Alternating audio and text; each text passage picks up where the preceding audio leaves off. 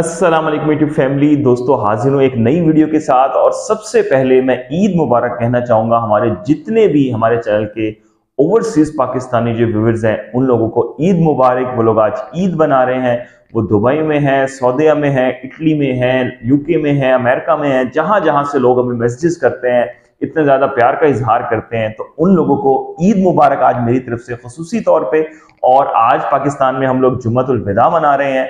हमें, हम आपको, आप लोगों को अपने दुआओं में भी याद रखेंगे और सबसे पहले आप लोगों को ईद मुबारक। आज की वीडियो शुरू करते हैं, बहुत ही कंसाइजली जल्दी जल्दी बनाने की कोशिश करूँगा। दस ऐसे पॉइंट में आपको बताऊँगा कि अगर आप घर बना रहे हैं तो अगर आप इन चीज़ों को इंश्योर कर लेते हैं तो आपकी बचत यकीनी है और लाखों रुपए की आपकी बचत होगी। और ख़ास तौर पे जो ओवरसीज पाकिस्तानी है, जो बाहर बैठ के यहाँ पे प्लॉट्स खरीदते हैं, वो लोग अगर इस चीज़ को मद्देनजर रखेंगे तो उनके लिए भी बहुत ज़्यादा फ़ायदा होगा इस चीज़ में। अब तमाम लोगों के लिए सबसे पहली जो चीज़ दोस्तों आती है, वो आती है रोड लेवल की। अक्सर कॉलोनियों में हमने देखा है, बहुत गहरे गहरे प्लॉट होते हैं और उनकी कीमत थोड़ी थोड़ी एक एक लाख रुपए पचास पचास हज़ार रुपए कम मिल रही होती है और आप लोग वो प्लॉट अक्सर लोग खरीद लेते हैं। कहते हैं चले भराई करवा लेंगे। उसमें बहुत ज़्यादा अक्सर नुकसान होता है आपका। आप गहरे प्लॉट हमेशा वो लोग खरीदें जिन्होंने बेसमेंट बनानी हो, उनका तो फ़ायदा है। लेकिन अगर आपने बेसमेंट नहीं बनानी क्योंकि अक्सर लोग पाकिस्तान में बेसमेंट बनाने की सकत नहीं रखते, इतने पैसे नहीं होते लोगों के पास बेसमेंट बनाए। तो अगर आप प्लॉट खरीद रहे हैं कोशिश करें रोड लेवल को लाजमी मद्देनजर रखें, गहरे प्लॉट मत लें, उस पर बहुत ज़्यादा एक्स्ट्रा खर्चा आ जाता है, आपके दो तीन लाख मामूली बात एक्स्ट्रा खर्चा लग जाता है। दूसरे नंबर पे जो पॉइंट है दोस्तों, इसमें कि आप जहाँ पे प्लॉट ले रहे हैं, अक्सर ऐसी गुंजान आबाद कॉलोनियाँ होती हैं या मोहल्ले होते हैं या जगह होती है जहाँ लेफ़्ट और राइट पे घर बने हुए होते हैं। आपने बीच में घर बनाना होता है। तो आप कोशिश करें, आप बिल्कुल खाली किस्म का प्लॉट लेने की बजाय एक ऐसा प्लॉट अगर सेलेक्ट कर लें, ऐसी कॉलोनी में आप ले रहे हैं कि जहाँ लेफ़्ट राइट पे घर हैं तो उसमें आपका सबसे बड़ा फ़ायदा ये होगा, ना आपको लेफ़्ट साइड पे, ना राइट साइड पे कहीं भी प्लस्तर करवाने की ज़रूरत नहीं पड़ेगी। और अगर बैक पर है तो वो सोने पे सुहागा है। इसमें भी आपकी मजदूरी प्लस मटेरियल लाखों रुपए बचते हैं और आपका घर एक महफूज हो जाता है। खास तौर पर पाकिस्तान में आपको पता है, छह, सात, आठ माह तो गर्मी ही पड़ती है ना, सर्दी तो आती तीन महीने के लिए या चार महीने के लिए मुश्किल से भी तो इसमें क्या होगा कि आपके घर पे धूप का असर नहीं होगा, घर में गर्मी नहीं होगी, और ज़ाहिर सी बात है, घरों के साथ जब घर होंगे तो आपको बाहर की जानी प्लस्तर भी करवाने की कोई ज़रूरत नहीं पड़ेगी, इसमें बचत ही बचत आप लोगों की होगी और अच्छी खासी होगी। तीसरे पॉइंट की अगर हम यहाँ पर बात कर लें लोकेशन आपके। प्लॉट जहाँ पे आप ले रहे हैं, घर आप जहाँ बनाना चाह रहे हैं वहाँ पे अगर सूरत हाल की बात करें, आपका जो कारोबार है, आपका जो बिज़नेस है, वो उससे कितना दूर है? ये चीज़ बड़ी ही ज़्यादा अहम है। इस चीज़ में आपकी हर सालाना बुनियादों पे लाखों रुपए की बचत होती है और लोग इस चीज़ को मद्देनजर नहीं रखते। देखते हैं अच्छा जी, वो कॉलोनी अच्छी है, बड़ी ज़बरदस्त है लग्जरी कॉलोनी है, लेकिन वो शहर से होती बीस पच्चीस तीस तीस किलोमीटर दूर है। आप अंदाज़ा लगा लें, आजकल पेट्रोल क्या लीटर मिल रहा है? दो सौ बयासी रुपये लीटर पेट्रोल है, इसका मतलब है कि आपका कबाड़ा हो जाएगा और सालाना बुनियादों पे आपके लाखों रुपए एक्स्ट्रा यकीनी तौर पे लगेंगे। कोशिश करें शहर में ही देख लें कुछ छोटी कॉलोनी देख लें, इन तमाम तर चीज़ों को देख लें बड़े बड़े नामों में ब्रांड में मत जाएँ, कोई फ़ायदा नहीं होता। यकीन करें, आप लोगों के बहुत एक्स्ट्रा पैसे लगते हैं आप लोगों को, इस चीज़ का एहसास हो रहा होता है, लेकिन फिर आप कहते हैं अच्छा चले, अब क्या करें? बना लिया, ले लिया, कर लिया। ये चीज़ भी बड़ी अहम होती है। इसके बाद हम बात कर लेते हैं पाँचवें पाँचवें पॉइंट के चौथा पॉइंट बड़ा ही अहम पॉइंट है दोस्तों, जब भी आप घर बनाएँ, मैप ज़रूर बनवाएँ। इस चीज़ को मैं आपको हमेशा कहता हूँ, मैप बनवाएँगे, आपका बहुत सारा खर्चा बच जाएगा। आपको पता होगा आपकी क्या क्या बुनियादें हैं, आपकी विंडो का साइज़ क्या है डोर का साइज़ क्या है, कहाँ पे आपकी वॉल बेरिंग आ रही है, कहाँ पे नौ इंच की दीवार है, कहाँ चार इंच की दीवार है। आपको अनाड़ी मिस्त्रियों से कोई भी मशवरा लेने का ज़रूरत नहीं पड़ेगी और आपके घर की जो तोड़ फोड़ है, वो नहीं होगी। एक चीज़ बनाने के बाद बाद में तोड़नी पड़ती है। अच्छा ये ऐसे कर लें, इसको ऐसे। अच्छे आर्किटेक्ट से बेहतरीन किस्म का नक्शा बनवाएँ ए वन कैटेगरी के लोगों से तो आपकी बहुत बचत हो सकती है। यही सर्विसेज़ हम भी आप लोगों को दे रहे हैं। अगर आप हमसे बनवाना चाहते हैं तो आप बनवा सकते हैं। मार्केट रेट से बहुत अच्छे और कंपिटेटिव रेट में नक्शा बना के देंगे और ए वन क्वालिटी का नक्शा बना के देंगे। अच्छा जी, इसके बाद हम पाँचवें पॉइंट की यहाँ पर अगर बात कर लें कि आप जहाँ पर घर बना रहे हैं, एक चीज़ को मद्देनजर रखें कि कोशिश करें, अगर वहाँ सुई गैस है और बिजली है तो सबसे अच्छी बात है। अक्सर आजकल देखने में आ रहा है, ऐसी ऐसी कॉलोनियाँ आबाद हो रही हैं कि जहाँ बिजली के मीटर ही नहीं लग रहे और कॉलोनी वाले अपनी तौर पे तारे बिछा के बिजली दे रहे होते हैं, गैस तो सिरे से ही नहीं होती। ऐसी कॉलोनीज में भी लोग रह रहे हैं बड़े बड़े शहरों में रह रहे हैं तो इस चीज़ को लाजमी मद्देनजर रखें, इससे बचें आप ये देख लें कि जहाँ पे आपकी गैस है, बिजली है, वहाँ पे आपका वैसे सालाना तौर पे बहुत ज़्यादा बचत होने के चांसेस होंगे।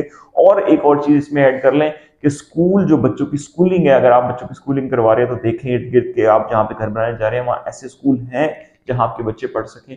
तो इस चीज़ को लाजमी मद्देनजर रखें, इस पॉइंट से बहुत ज़्यादा बचत होती है। अच्छा ये छठे पॉइंट की अगर हम बात कर लें, एक तो आप बुनियादें बनाते हैं लोड बेरिंग वाली दीवारें बनाते हैं, क्योंकि अब जो छोटा घर होता है ना दोस्तों पाँच मरले का घर है, सात मरले का, आठ मरले का ग्राउंड फ्लोर और फ़र्स्ट फ्लोर आप बनाते हैं तो उसमें कोई इतनी बड़े इशू नहीं होता कि आप कॉलम वाली जो बुनियादें हैं या बैरियर कॉलम वाली दीवारें बनवाएँ और उसको फिर खड़ा करें। लोड बेरिंग अच्छे वाला अगर आप लगवाएँगे अपनी दीवारों में, नीचे बुनियादों से उठाएँगे लोड बेरिंग वाली बुनियादें डालेंगे तो उसमें बहुत ज़्यादा बचत होगी। कॉलम वाली डालेंगे तो बहुत ज़्यादा खर्चा होगा। कॉलम वाली आप बुनियादें टब डालें, जब आप ट्रिपल स्टोरी घर बना रहे हैं, बड़ा घर बना रहे हैं और ये तमाम सूरत हाल होती है, इसमें आपकी बचत बहुत अच्छी खासी बचत हो जाती है। अच्छा इसमें अगर हम सातवें पॉइंट की बात कर लें तो चौखट, चौखटे आप घर में लगाते हैं ना, अपने घर में चौखटे। आजकल लोग बहुत बड़ी गलती क्या करते हैं? दयार की, महागिनी की, महँगी से महँगी लकड़ी की चौखटे लगवा लेते हैं। दोस्तों, कोई फ़ायदा नहीं है। यकीन करें, आप बड़े से बड़े प्रोजेक्ट्स में जाएँगे, अच्छे से अच्छे आर्किटेक्ट के बनाए हुए घरों में जाएँगे तो अब जिस्ती की जो चौखट होती है ना, लोहे की आयरन की जो चौखट होती है वही लग रही है दरवाजों के लिए। वही लगवाएँ। दीमक का कोई मसला नहीं होगा आपको। सेम का कोई मसला नहीं होगा। लकड़ी की चौकटें कहीं ना कहीं खराब हो जाती हैं। और अगर दीमक आ जाए वह तो वैसे ही बेड़ा गर्क हो जाता है। तो इससे आप अवॉइड करें तो मेरे, आपको सिंसियरली सिंसियर मशवरा है कि उन पे अगर आपका एक एक चौकट में पचास पचास हज़ार रुपये खर्चा आ जाता है चालीस चालीस हज़ार भी खर्चा आ जाता है, आप जो महँगी से महँगी लकड़ी की चौकट बन, लगवाने जाते हैं और फिर वो खराब भी हो जाती है। इसलिए आप जिस्ती की और आयरन वाली जो चौकट है, वो लगवाएँ, उस पर अच्छा पेंट करवाएँ पॉलिश करवाएँ, कहीं नहीं जाती, आजकल वही चल रही है। अच्छा यहाँ पे अगर हम बात कर लें आठवें पॉइंट की अच्छा दोस्त जो घर बना रहे होते हैं ना, अब बड़ी बड़ी विंडोज़ रखवा लेते हैं कुछ लोग, बहुत ज़्यादा बड़ी विंडोज़ अच्छा वो लोग ये बड़ी विंडोज़ रखवा लेते हैं जिन्होंने प्रॉपर आर्किटेक्ट से नक्शा नहीं बनवाया हुआ होता। आपके घर की ज़रूरत क्या है? आपका ईस्ट वेस्ट क्या है? आपके घर में वेंटिलेशन कहाँ से होनी है? आपकी रोशनी का कैसे पैसेज होना है? अच्छे आर्किटेक्ट को ये चीज़ पता होता है कि बैक गली साइड गली दस मंडला घर है पाँच मंडले घर में बैक गली अगर आपने पैसेज दिया हुआ है तो कहाँ से आपने रोशनी लेनी है और कितनी विंडो रखनी है, कितना साइज़ बेहतर रहेगा घर के लिए? तो ये चीज़ काफ़ी ज़्यादा मद्देनजर आपने रखनी है और खास तौर पे विंडोज़ जो आपने लगानी है, बहुत बड़ी बड़ी विंडोज़ मत लगाइए घर में, आपका खर्चा बढ़ जाएगा और इतना ज़्यादा बढ़ जाएगा एल्यूमिनियम बहुत महँगा है भाई। आप पाँच मरले के घर में एल्यूमिनियम लगवाने जाते हैं। तीन तीन, चार चार लाख तक का खर्चा आ रहा है। दस मरले घर में आठ आठ लाख तक का खर्चा भी आ रहा है एल्यूमिनियम का। तो इस चीज़ को ये लाजमी मद्देनजर रखें कि बहुत ज़्यादा बड़ी बड़ी विंडोज़ ना रखवाएँ। अच्छे आर्किटेक्ट से मशवरा करने के बाद नॉर्मल एक इकोनॉमिकल साइज़ की विंडोज़ रखवाएँ। लाख रुपए की बचत होगी। इसमें अगर हम बात कर लें यहाँ पे दोस्तों, मजीद एक और पॉइंट की अगर हम यहाँ पर बात कर लें कि घर में जो आप दीवारें बनाते हैं ना, खासतौर पर अक्सर लोग होते हैं कि वो जो लोकल मिस्त्रियों से बनवा रहे होते हैं, अब ये देखें कि इसमें बार बार मैप मेकिंग के जो क्वेश्चन है ना, वो इतने ज़्यादा आ रहे हैं कि जिसकी कोई इंतहा नहीं अब क्या करते हैं? साढ़े नौ इंच वाली दीवारें पूरे घर में रखवा देते हैं। वो घर का इतना बेड़ा गर्क हो जाता है। आप एक चीज़ हमेशा मद्देनजर रखें कि आपकी जो लेंटर का वज़न है ना, वो चंद दीवारों पे आता है। वो आपकी साइड वाली दीवार है, घर के बीच में एक दीवार है, घर की बैक पे एक दीवार है। चंद दीवारें होती हैं जिन पर लेंटर का वज़न आता है। आप सारी ही दीवारें अगर साढ़े नौ इंच वाली या नौ इंच वाली रख देंगे तो आपका एक तो खर्चा ज़्यादा आएगा और आप जब नौ नौ इंच वाली दीवारें घर में रख रहे होंगे, आपके घर की स्पेस कम होती जाएगी, कमरों की, वॉशरूम की। आप हमेशा अच्छी मैप मेकिंग करवाएँ। खास तौर पर लोगों को देखने में आता है कि वो वॉशरूम की हम बड़ा परेशान होते हैं ऐसे घर देख के। वॉशरूम की दीवारें, नौ नौ इंच वाली दो बनाई हुई होती है अजीब सूरत हाल होती है, कोई ज़रूरत नहीं होती। कोई उन्होंने लोड नहीं लेना होता ऊपर लेंटर से, हर दीवार लेंटर से लोड नहीं ले रही होती। तो आपको इस चीज़ का ख्याल रखना है अच्छे आर्किटेक्ट से पूछने के बाद कि आप घर की मैक्सिमम दीवारें साढ़े चार इंच की रख सकते हैं। वो पता होता है एक आर्किटेक्ट को कि कहाँ पे साढ़े नौ इंच की दीवार देनी है, कहाँ पे वॉल बेयरिंग करनी होती है, कहाँ लोड लेना होता है, कहाँ नहीं लेना होता। तो ये भी इंतहाई अहम पॉइंट है। अगर आप इन नौ दस पॉइंट्स पे अमल कर लेंगे तो मैं आपको श्योरिटी करता हूँ दोस्तों, दस बारह लाख रुपए बहुत बहुत मामूली रकम है।